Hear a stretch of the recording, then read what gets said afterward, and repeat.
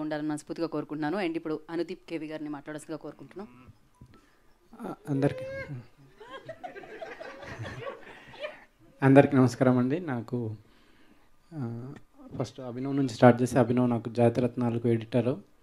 అప్పుడే day and night work చేసేవాడు ఆ సినిమాకి. అతనికి ఎడిటింగ్ మీద కాకుండా అన్ని అన్ని క్రాఫ్ట్స్ మీద చాలా డెప్త్గా నాలెడ్జ్ ఉండేది.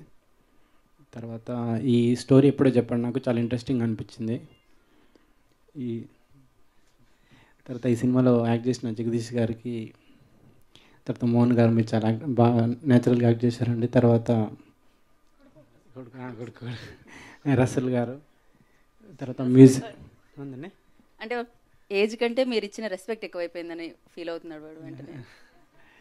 తర్వాత మ్యూజిక్ చాలా బాగా కుదిరింది సినిమాటోగ్రఫీ కూడా.